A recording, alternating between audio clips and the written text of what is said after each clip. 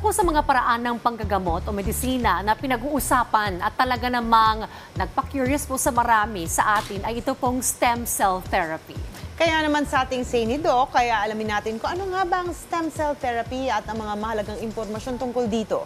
Kasama si Dr. Leo Olarte, isang orthopedic surgeon. Magandang umaga po, Doc. Magandang umaga, Layan.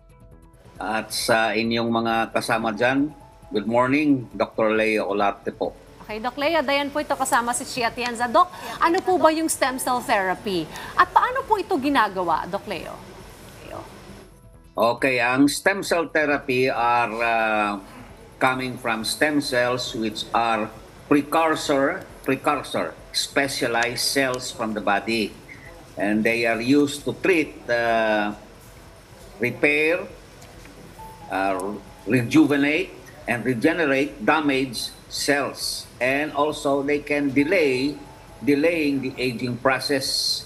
So yun po ang stem cell therapy.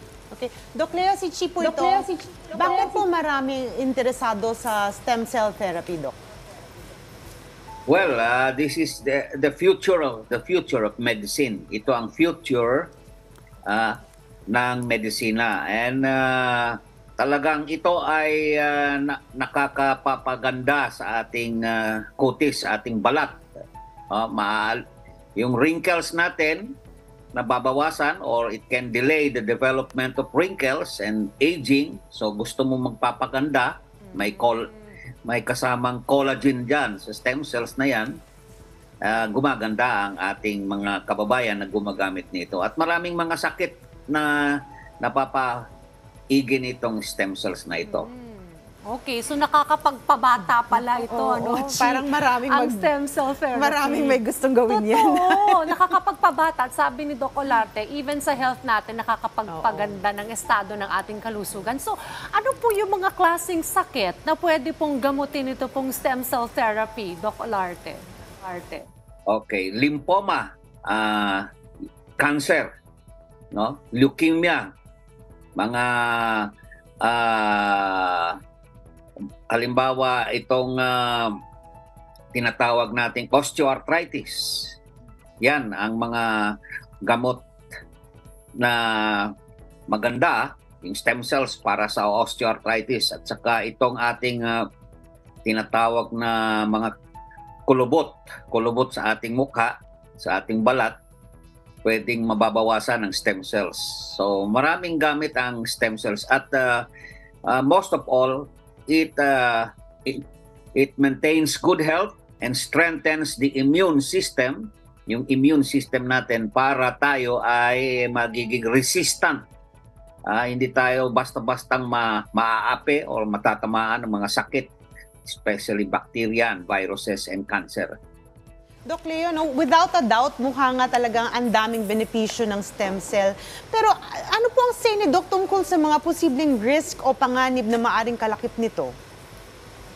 Well, uh, sa aking karanasan, no, matagal na ako nagre-recommender ng stem cells. Wala akong napansin na mga masamang epekto or komplikasyon sa paggamit ng stem cells. Mas lalo na yung uh, stem cells na nanggagaling sa sariling uh, stem cells ng uh, pasyente mismo sa kanyang uh, sariling katawan or itong tinatawag nating DIR, DIR, placenta stem cells. Uh, wala akong na naranasan diyan, wala akong nadinig o na mayroong mga komplikasyon or mga side effect, masamang side effect dito sa paggagamit sa stem cells na ito. Okay. So clearly, maraming benepisyo itong stem cell therapy.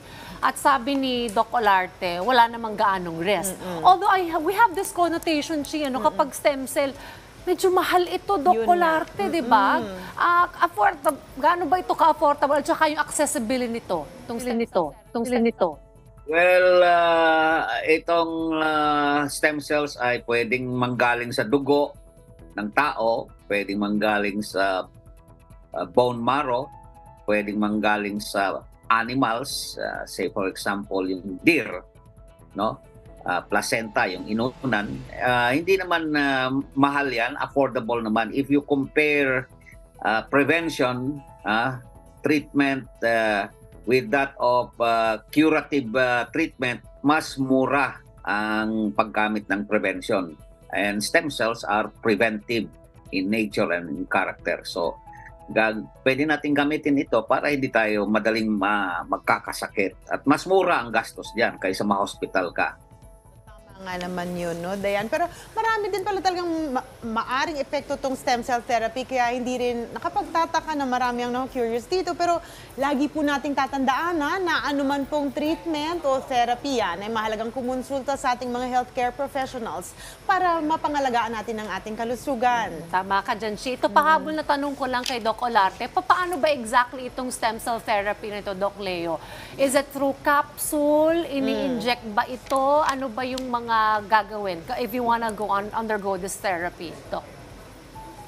Ngayon, para mas mura, capsules ang ginagamit natin, iniinom lamang, no? Iniinom lamang itong mga uh, stem cells na ito. Uh, may may sangkap din yan na ibang mga herbs, mga vegetables, herbs na kasama doon sa kapsula na yan. Pwede rin galing sa ating dugo. Mag-extract tayo ng blood or pwede din sa bone marrow. Pwede din dyan. Yun ang pwedeng gamitin sources of stem cells natin. Para mabili yan sa mga drugstores, Doc? Ah, hindi ito nabibili sa drugstore. Meron tayong ah, exclusive ah, ah, distributor dito sa mga stem cells na ito sa pagkaalam ko. Meron silang opisina diyan sa Mall of Asia, no? 5 Ecom building, yung uh, diyan ang source ng ating stem cells. Okay, well, thank you very much po ah, sa pagbabahagi po ng inyong kaalaman tungkol sa stem cell therapy, Doc Leo Olarte. Thank, you, Doc. po, Doc. Thank you po. Maraming salamat sa inyong dalawa and uh, good morning, rise and shine. Ito po si Dr. Leo Colarte.